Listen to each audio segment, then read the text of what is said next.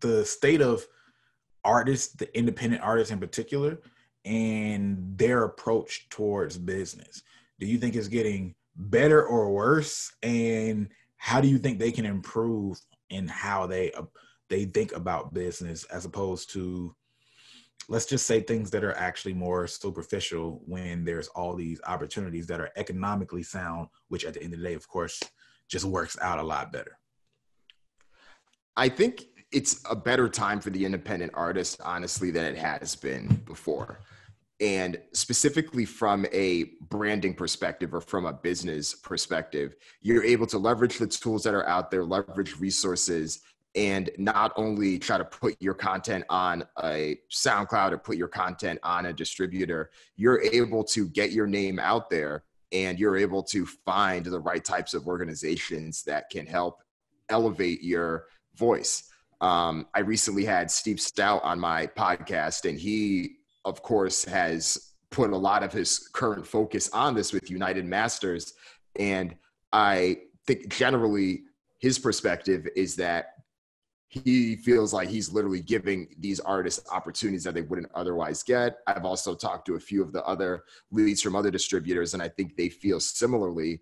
And I think it adds to a number of things, right? Because if you are an artist, you're looking at the way you're building your following, whether that is the people that are following you on a social media platform, if you're collecting email addresses from a website, if you're collecting phone numbers, I know that's something that you've done videos on as well the more that you have this and the more you have access to these things, you're the one that can build up your leverage. And when you want to be able to partner as an independent artist, you already have the tools to be able to either try to get the type of licensing or distribution that you would want instead of just giving everything away. And that part of it is interesting. With that said, I do still think that there are some limitations that a independent artist can have relative to you know your, your top artists that are at Republic Records, right? Your Drakes or your Weeknds and and so on.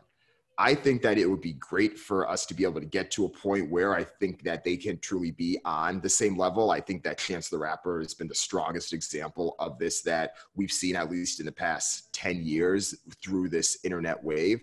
But I think there's still a lot that we um, that we need to see develop there because I think that it was definitely a little bit disappointing that Chance sophomore album. I mean, from a quality perspective, I don't think it was quite what his earlier work was, but that it couldn't reach the sales numbers that he wanted to. And I right. think some of that does speak to just how much things are still controlled by those big groups. I think one of the things that was floating around a few weeks ago was after the Coachella announcement was made, there was a follow up graphic of the Coachella artist, but instead of the artist names, it had the agencies that represent those oh, artists. Oh, yeah, yeah, yeah. It was all the big agencies. and although that's just one instance, it just goes to show even if you are this rising independent artist that is controlling your domain, if you want to get into these biggest biggest rooms where they are the gatekeepers the majors still have that ownership and that may change over time but we're just not there yet to that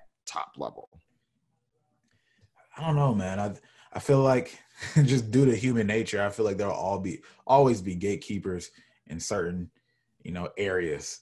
Right. I mean, it might change. It might become a new, a different type of gatekeeper. It'll be different, a different DNA of person that's in charge. Mm-hmm. But something will develop uh, over over time. Right. There's always a establishment and then anti-establishment until right anti-establishment becomes established anti-establishment. Right, right, right, right. Yeah, because yeah, I, I, think the one thing I think about are two examples. I know that Drake will be up for a new deal very soon, and mm-hmm. I do not see Drake going the independent route. I think Drake will continue on this. I think yeah. he will leverage and use all his power to get the type of deal that no one else could get, but I don't think he's going to go the independent route and it makes me right. think back. Um, I think last summer, Troy Carter was on a panel, and they were talking about Taylor Swift and her whole thing with Scooter Braun and getting her masters back, and he was just like, "Hey, when Taylor Swift had the option, she went to Republic. It's not mm-hmm. like she is on TuneCore." And that is not meant to be a knock on TuneCore by any means. It's more so an acknowledgement of the biggest artists, even though they have the clout to be able to do all the things that we know that an independent artist could do today, are still choosing to go that route. So, why so, do you yeah. think that is? I think that there are strong business opportunities that those big artists get from having their name everywhere and from the backing that those major labels can do for them at that level.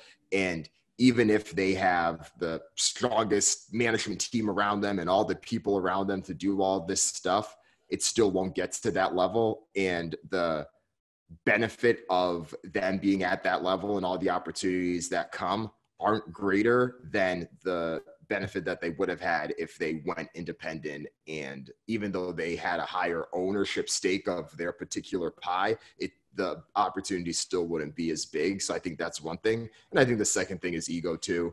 I mean, these artists enjoy the fame and everything that comes with it.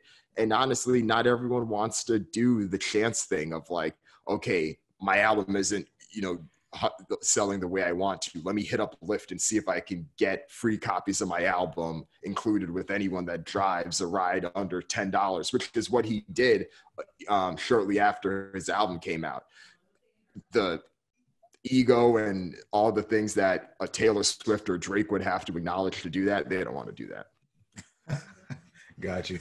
Got you. I, I, I definitely could understand. I mean, when you're at a certain level of leverage, you can make like you can make it make sense right right so.